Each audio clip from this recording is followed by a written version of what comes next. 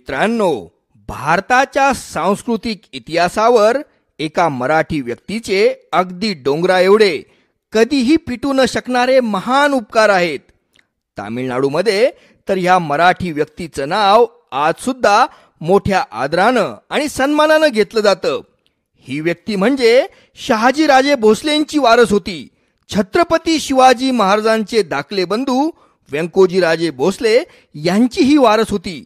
आणि त्या व्यक्तीचं नाव होतं तंजावरचे श्रीमंत महाराजा सरफोजीराजे भोसले दुसरे यांचं. तिरुवलई हे तामिळनाडूतलं एक छोटंसं गाव होतं. तिरुचिरापल्ली जवळच्या या गावामध्ये एक अतिशय गरीब असा ब्राह्मण राहत होता. त्याचे पूर्वज फार विद्वान होते. ह्याला मात्र शिक्षणात काही फारशी रुची नव्हतीच. किरकोळ भिक्षुकी करून तो आपले दिवस कसे बसे ढकलत होता. पण त्याच्या घरात बरेच असे भुर्जपत्रावर लिहिलेले प्राचीन शेकडो वर्षांपूर्वीचे कदाचित हजारो वर्षांपूर्वीचे अनेक जुने ग्रंथ पडले होते. अनेक गाठोड्यांमध्ये ते ग्रंथ बांधून ठेवलेले होते. आपल्या गरिबीमुळं ते ग्रंथ कुणाला तरी द्यावे विकून टाकावे आणि त्यातून काही पैसे कमवून आपले दिवस ढकलावे अशी त्याची इच्छा होती. अगदी कुणी पाच पंचवीस रुपये जरी त्या बदल्यात दिले असते तरी तो ब्राह्मण अगदी आनंदानं नाचला असता. त्या काळी पाच पंचवीस रुपयांना सुद्धा फार मोठी किंमत होती. तसंच त्या काळी पुस्तकांच्या रद्दीचाही धंदा नव्हता नाहीतर त्या ब्राह्मणानं आपल्या घरातली ही अडगळ दूर करून नक्कीच त्या पुस्तकांमधून काही पैसे कमवले असते. तेवढ्यात त्या ब्राह्मणाला कोणीतरी सांगितलं की तंजावरचे मराठी राजे सरफोजी राजे भोसले यांना अशी जुनी ग्रंथ संपदा गोळा करण्याचा फार मोठा शौक आहे. ते चांगली रक्कमही त्या बदल्यात लोकांना देतात. मग त्या ब्राह्मणाच्या मनात आशा पालवली. आपण जर हे सगळं गबाळ महाराजांना दिलं तर तर ते कदाचित खुश होऊन आपल्याला शंभर रुपये सुद्धा देतील. आणि मग त्यातून आपल्या पुढच्या निदान दोन तीन वर्षांचा तरी प्रश्न मिट तशीही आपल्या या दरिद्री घरात आपल्या पूर्वजांच्या या ठेवीची फार आबाळ होत आहे. महाराजांकडं त्यांच्या राजवाड्यामध्ये हे सगळे ग्रंथ अगदी सुरक्षित राहतील. असा विचार करून मग त्या ब्राह्मणानं सगळ्या ग्रंथांची गाठोडी बांधली. आपल्या मुलाबायकांच्या डोक्यांवर आणि स्वतःच्या डोक्यांवर ती गाठोडी घेऊन ती भली मोठी गाठोडी घेऊन तो पायपीट करीत तिरुवलईवरून तंजावरला निघाला. आणि एका भर दुपारी तो तंजावरच्या राजवाड्याजवळ पोहोचला. तेव्हा राजवाड्यातल्या सेवकानं महाराजांना वर्दी दिली. कुणीतरी एक ब्राह्मण आपल्या बायका मुलांसह प्राचीन ग्रंथांचे मोठे मोठे गाठोडे घेऊन इथं आलाय. तेव्हा महाराजांनी त्या ब्राह्मणाला सन्मानानं आत घेऊन यायला सांगितलं.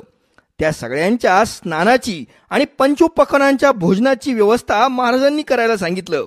आणि जेवणानंतर त्यांची विश्रामगृहात आरामाची व्यवस्था केली. मग सायंकाळी महाराज स्वतः विश्रामगृहात त्या ब्राह्मणाला भेटायला आले. महाराजांचं शरीर धिप्पाड होतं. त्यांच्या मिशा पिळदार आणि भरघोस होत्या. अंगावर भरजरी शेला गळ्यात हिऱ्या मोत्यांचे दागिने डाव्या हातावर एक पोपट बसलेला होता. अत्यंत आकर्षक आणि प्रसन्न असं व्यक्तिमत्व महाराजांचं होतं. सस्मित चेहरा होता. कपाळाला दुबोटी शिवगंध रेखलेलं होतं. महाराजांचा भरघोस काळाभोर केश सांबार त्यांच्या खांद्यावर उडत होता. महाराजांच्या कानांमध्ये अत्यंत दुर्मिळ अशा गुलाबी मोत्यांची कुंडलं डुलत होती. महाराजांचं ते सुंदर रूप पाहून त्या ब्राह्मणाला असं वाटलं की जणू काही स्वर्गातली एखादी देवताच त्याच्यासमोर प्रकट झालीये. मग त्या ब्राह्मणानं महाराजांसमोर लोटांगणच घातलं. पण महाराजांनी मोठ्या विनम्रपणे त्याला उठवलं आणि मोठ्या आदरानं त्याच्या पायांना स्पर्श केला. थोडी विचारपूस करून त्यांनी त्या ब्राह्मणानं सोबत आणलेल्या एक एक ग्रंथाचं अवलोकन करायला सुरुवात केली.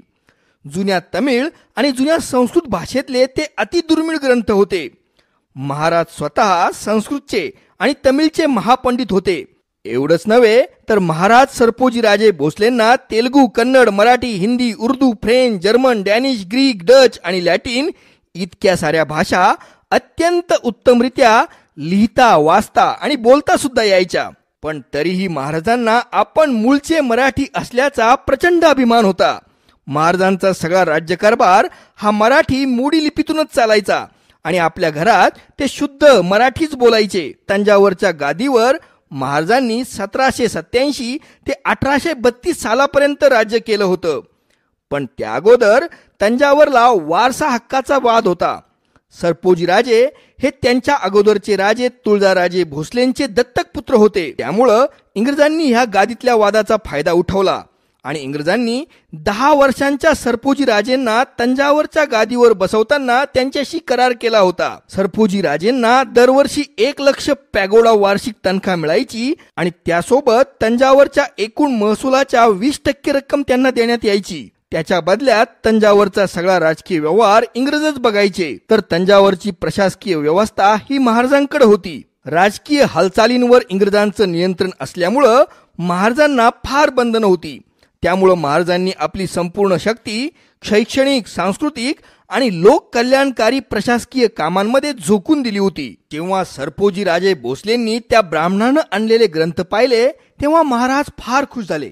या ग्रंथांमध्ये बिल्वमंगलाचे ग्रंथ रामानुजाचं भाष्य त्यागराजाचे ग्रंथ मणिमंगलप्पम रसराज गंगाधर आणि असेच अनेक कितीतरी दुर्मिळ अतिदुर्मिळ संस्कृत आणि तामिळ ग्रंथ होते. महाराज तो एक एक ग्रंथ आनंदानं छातीशी कवटाळत होते. मोठ्या श्रद्धेनं डोळ्यांना लावून आपल्या डोक्यावर सुद्धा घेत होते. मग महाराजांनी अगदी आनंदानं त्या ब्राह्मणाला मिठीच मारली आणि ते म्हणाले या सगळ्यांसाठी आम्ही तुला पाच हजार रुपये सुद्धा अगदी हसत हसत देऊन टाकू. महाराजांचं ते बोलणं ऐकून तो ब्राह्मण बेशुद्धच पडायचा बाकी राहिला होता. एवढ्या मोठ्या रकमेची त्यानं अगदी स्वप्नात सुद्धा अपेक्षा केली नव्हती. महाराजांनी अमात्य महाडिक राजे यांना आणि कारभारी असणाऱ्या नरसिंह भट्ट यांना ती रक्कम आणायला सांगितलं. पण हे दोघंही हे महाराजांना सांगायला परत आले की महाराजांचीच परवानगी घेऊन ब्रिटिशांचा ट्रेझरी अधिकारी लेफ्टनंट ड्युमा शिकारीला काही दिवसांसाठी तंजावरच्या बाहेर गेलाय. चार पाच दिवसांनी तो तंजावरमध्ये येईल तोपर्यंत आपल्याकडं तीन चार हजार रुपये वर खर्चासाठी आहेत. तेव्हा आपण त्या ब्राह्मणाला थांबायला सांगून आठवड्यानं परत बोलूया. पण महाराज म्हणाले नाही आम्ही असं ह्या अमूल्य ठेव्याबद्दल कुणाचीही उधारी ठेवू इच्छित नाही. आणि महाराजांनी चक्क गळ्यातली रत्नमाला काढून त्या ब्राह्मणाच्या हातात ठेवली. अमात्य महाडिक राजे आणि कारभारी नृसिंह भट्ट तर बेशुद्धच पडायचे बाकी राहिले होते. कारण महाराजांच्या गळ्यातल्या त्या रत्नमालेची किंमत कमीत कमी एक लाख रुपयांची होती. ते सटपटले. त्यांची ती अवस्था पाहून महाराज हसले आणि ते म्हणाले अमात्य कारभारी आमच्या ह्या पूर्वजांच्या भारताच्या ह्या अमूल्य वारसाची किंमत फार मोठी आहे. या महान ग्रंथांसमोर ही लाख रुपयांची रत्नमाला ही कवडी मोलाची आहेत. रत्नमाला म्हणजे नुसते किमती दगड आहेत पण अस्सल खजाना म्हणजे हे ग्रंथच आहेत. महाराजांचा जय जयकार करत ते ब्राह्मणाचं कुटुंब तिथून नाहीसं झालं.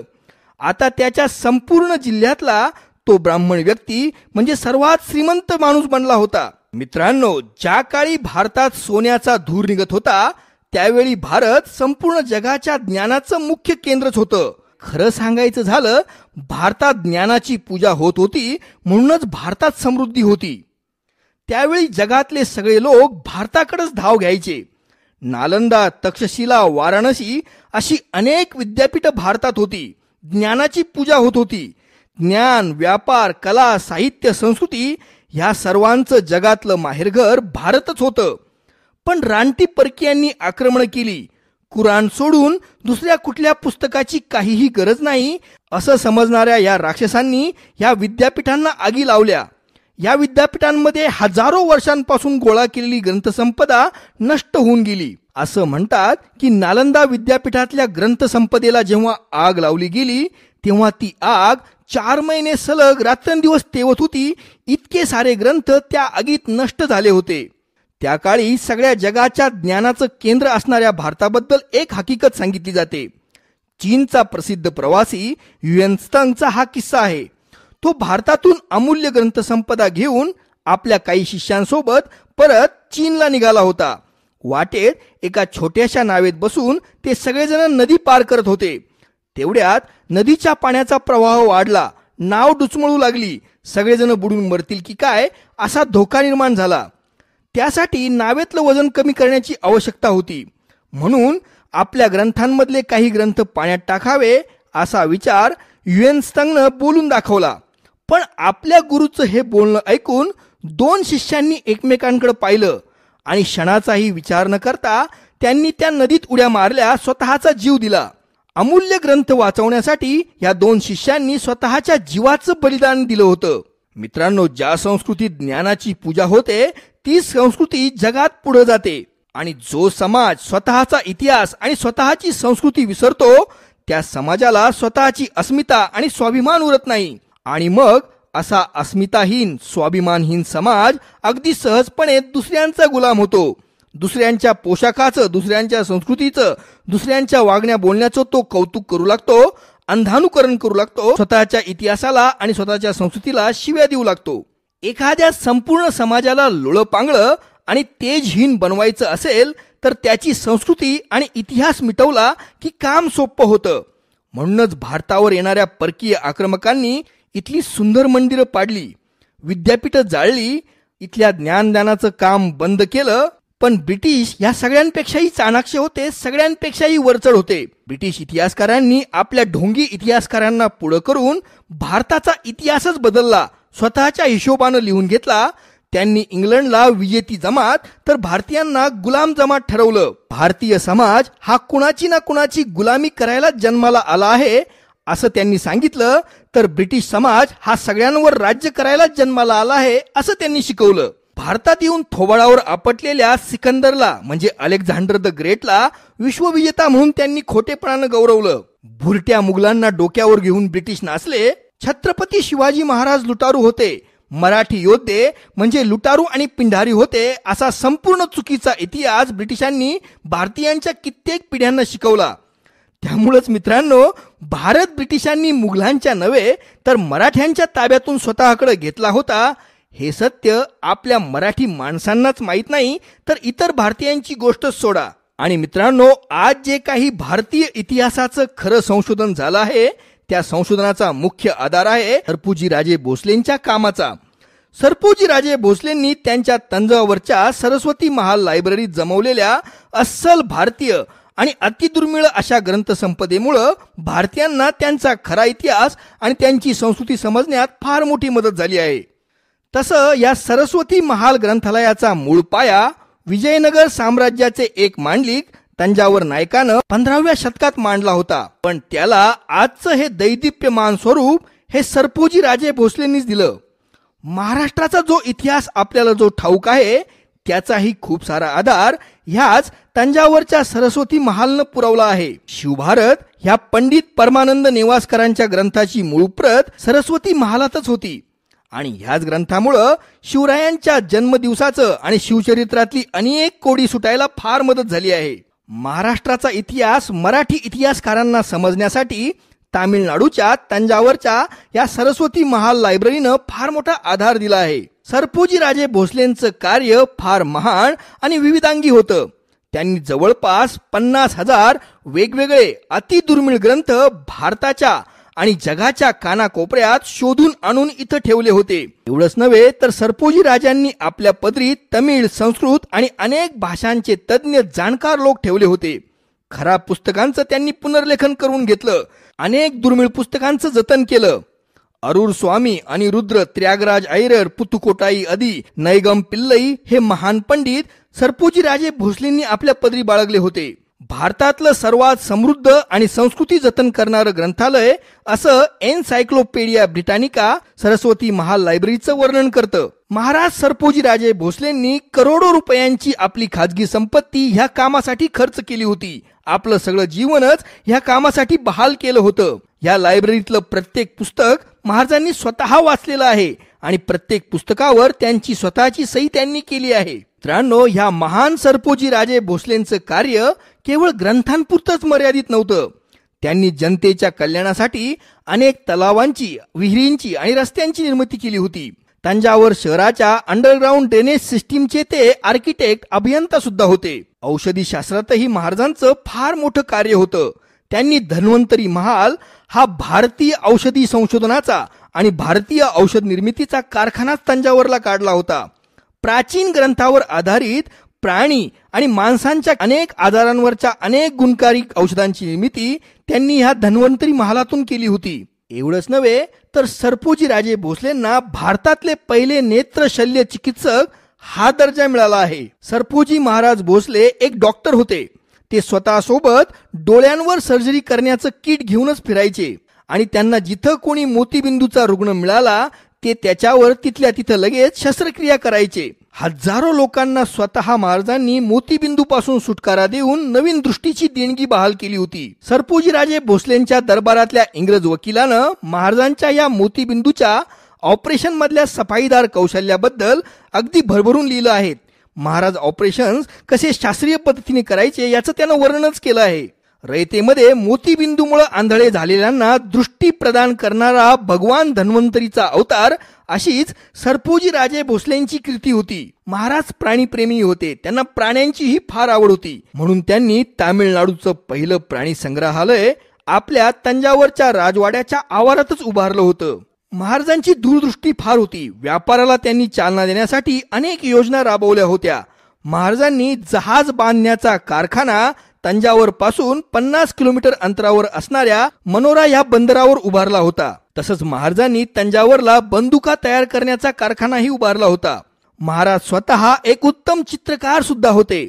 तसंच महाराज फावल्या वेळात स्वतः कुदळ फावडं हातात घेऊन बागकाम सुद्धा करायचे फुलांची आणि झाडांची निगा राखायचे. त्यांना विविध नाणी जमवण्याचाही शोक होता. महाराज कुस्तीपटूही होते ते कुस्ती सुद्धा खेळायचे. महाराजांना घोड्या बैलाच्या शर्यतीत म्हणजे टांग्यांच्या शर्यतीचाही नाद होता. बैलांच्या झुंजीचाही त्यांना शौक होता. जलीकट्टू ह्या तामिळनाडूतल्या पारंपरिक बैलाच्या खेळाला लोकप्रिय बनवण्यामध्येही महाराजांचा फार मोठा सहभाग होता. महाराजांच्या अंगचे गुण इथपर्यंतच थांबत नाही. महाराजांना नृत्य गायन आणि संगीताचाही फार छंद होता. महाराज स्वतः एक उत्तम संगीत तज्ज्ञ सुद्धा होते. महाराजांनी स्वतः संगीतावरचे कुमार संभव चंपू मुद्रा राक्षस छाया आणि देवेंद्र कुरवंजी हे तीन ग्रंथ लिहिलेले आहेत. स्वतः महाराज उत्कृष्ट व्हायोलिन वादक आणि सनई वादक सुद्धा होते. युरोपातली व्हायोलिन आणि क्लॅरिनेट हे वाद्य त्यांनी कर्नाटक संगीतात समाविष्ट केलं होतं. आणि सरपोजी राजे भोसलेंमुळे कर्नाटक संगीत रागदारी एका वेगळ्या उंचीवर पोहोचली होती. महाराजांनी तंजावर चित्रकला म्हणून चित्रांची एक वेगळी शैली तंजावर मध्ये प्रस्थापित केली होती. तस नव्हे तर महाराज वास्तुतज्ञही होते. त्यांनी पाच मजली तंजावर महालाची रचना स्वतः आखली होती. विजेपासून महालाचं संरक्षण व्हावं म्हणून धातूचे विजरोधक खांबही त्यांनी ह्या महालावर लावलेले होते. भोसले घराण्याचा त्यांना फार अभिमान होता. भोसले घराण्याचा संपूर्ण इतिहास एका बृहत शिलालेखाच्या रूपात बृहदेश्वर मंदिराच्या नैऋत्य भिंतीवर त्यांनी कोरून ठेवलेला आहे. आणि जगातला सर्वात मोठा शिलालेख अशी ह्याच शिलालेखाची ख्याती आहे. सरपोजी महाराज भोसलेंनी काशी यात्रा साल अठराशे वीस एकवीस साली केली होती. त्यावेळी त्यांनी त्यांच्यासोबत तीन हजार लोक घेतले होते. तंजावर ते काशी या संपूर्ण प्रवासात त्यांनी कोट्यावधी रुपयांचा दानधर्म सुद्धा केला होता. काशीला गेल्यावर अनेक घाटांची डागडुजी केली होती. घाटांवर सुंदर चित्र काढून त्यांचं सुशोभीकरण सुद्धा केलं होतं. एवढंच नव्हे तर ते जाताना एका रस्त्यानं गेले होते तर येताना वेगळ्या रस्त्यानं आले होते. पण जाताना जिथं जिथं त्यांना भग्न मंदिरं दिसली त्या सर्व वास्तूंचा जीर्णोद्धार करण्याचं पुण्यकर्मही त्यांनी केलं होतं. महाराज सरपोजी राजे भोसले इतर धर्मांचा सुद्धा खूप आदर करायचे. अनेक ख्रिश्चन चर्च आणि मिशनरी शाळांना त्यांनी दोन्ही हातांनी भरभरून मदत केली होती. तंजावरच्या बडे हुसेन दर्गा ह्या मुस्लिम उत्सवाचे ते प्रमुख आयोजक आणि प्रमुख पाहुणे सुद्धा असायचे. महाराजांनी शिक्षणाच्या कार्यातही फारच भरीव काम केलं होतं. त्यांनी नवविद्या कलानिधी शाळा अशा नावाची एक अनोख्या प्रकारची शाळा सुरू केली होती. ज्या शाळेमध्ये विज्ञान गणित भाषासोबतच वेद आणि शास्त्र सुद्धा शिकवले जायचे. तसंच मुलांनी त्यांच्या पायावर लवकर उभं राहावं म्हणून कला आणि व्यवसाय कौशल्यही ह्या शाळेत शिकवलं जायचं. युरोपियन लोकांचं विज्ञान आणि भारतीय लोकांचं कलाशास्त्र यांचा अत्यंत उत्तम संयोग ह्या शाळेच्या अभ्यासक्रमात त्यांनी केला होता. महाराजांनी हातानं चालवायचा देवनागरी छापखानाही अठराशे पाच साली तंजावर मध्ये सुरू केला होता. महाराजांची ख्याती ऐकून लंडनचा प्रख्यात शिल्पकार फ्लॅक्समन साल अठराशे सात साली तंजावरला आला होता. त्यानं महाराजांचा एक संगमरवरी पुतळा बनवण्याची महाराजांकडे परवानगी मागितली. महाराजांनी ती दिली. फ्लॅक्समननं रात्रंदिवस खपून महाराजांचा संगमरवरी अतिशय देखणा सुंदर पुतळा तयार केला. महाराजांच्या कारभाऱ्यांनी महाराजांना आश्चर्यचकित करण्यासाठी तो पुतळा सरस्वती महाल ग्रंथालयाच्या प्रांगणात बसवला. महाराजांनी तो पुतळा अगोदर पाहिला नव्हता. तो महाराजांचा एक अश्वारूढ आणि हातात तलवार घेतलेला वीरमुद्रेतला पुतळा होता. पण महाराज तो पुतळा पाहून फारसे खुश झाले नाही. शिल्पकार फ्लॅक्समननं महाराजांची ती नाराजगी तात्काळ ओळखली. आणि त्यानं महाराजांना विचारलं तुम्हाला पुतळा का आवडला नाही? तेव्हा महाराज म्हणाले की हा सरस्वती मातेचा दरबार आहे. इथं घोड्याचं तलवारीचं आणि वीरमुद्रेचं काय काम आहे? इथं तर नम्रता पाहिजे दासाची भूमिका पाहिजे. मग फ्लॅक्समननं महाराजांचे हे विचार ओळखले. फ्लॅक्समननं पुन्हा रात्रंदिवस फार मेहनत करून महाराजांचा अतिशय देखणा संगमरवरी सरस्वती मातेसमोर विनम्रतेनं हात जोडलेला दास भावातला दुसरा एक संगमरवरी पुतळा कोरला. आणि त्या पुतळ्याला पाहून मात्र सरपुजराजे भयंकर खुश झाले. सरपोजीराजे एक अत्यंत विनम्र स्वभावाचे माणूस होते. मित्रांनो आजही सरपोजीराजे भोसले महाराजांचा तो पुतळा सरस्वती महाल लायब्ररीच्या प्रांगणात आहे. ह्या अतिशय दयाळू कलावंत आणि जनतेच्या कल्याणासाठी रातनदिन झटणाऱ्या राजावर तंजावरची जनता अगदी जीवापहाड प्रेम करायची. जेव्हा सात मार्च अठराशे बत्तीस रोजी या महान राजाचं त्याच्या वयाच्या छप्पन्नाव्या वर्षी निधन झालं तेव्हा त्यांच्या अंत्ययात्रेत एक लाखांपेक्षाही जास्त लोक सहभागी झाले होते. अफाट जनसागर आपल्या राजाचं अंत्यदर्शन घेण्यासाठी लोटला होता. अशा या महान राजास शहाजी राजांच्या वंशजांना आणि भारत मातेच्या महान पुत्राला माझे लाखो प्रणाम. मित्रांनो अशाच सुंदर सुंदर कहाण्या आणि किस्से ऐकण्यासाठी आपण माझ्या यूट्यूब चॅनलला भेट द्या. आपल्या प्रोत्साहनाची मला गरज आहे. मला प्रोत्साहन देण्यासाठी आपण माझ्या यूट्यूब चॅनलला सबस्क्राईब करा. माझ्या व्हिडिओला लाईक करा कॉमेंट करा आणि शेअरसुद्धा करा. आपले खूप खूप धन्यवाद.